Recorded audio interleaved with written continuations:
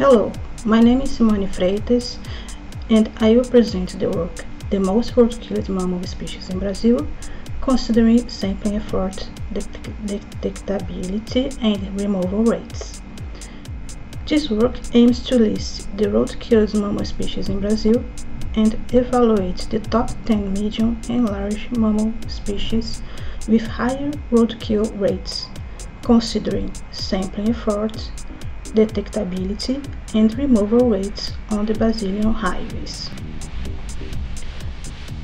We have searched and analyzed publications on roadkill monitoring performed in Brazil.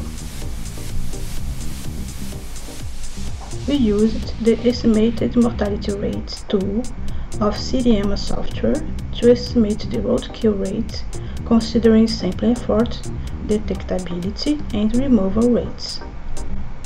To obtain a roadkill rate of medium and large mammal species in Brazil and in each biome, the maximum mortality rates for each species were added and multiplied by 365 days and the total length of paved highways.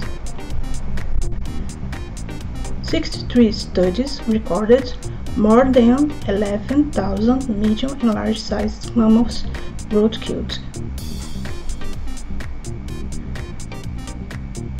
30% of the 62 species had a certain degree of threat. Nearly 70% of carnivora and all primates show a decreasing population trend.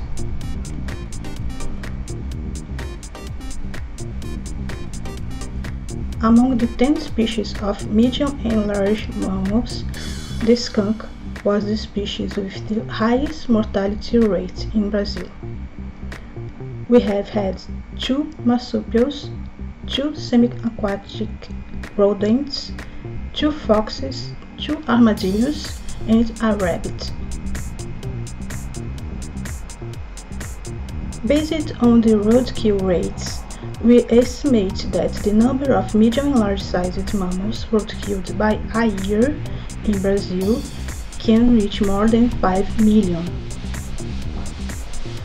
The biomes with the highest roadkill rates were Atlantic forest and Brazilian savanna and caatinga. Thank you very much.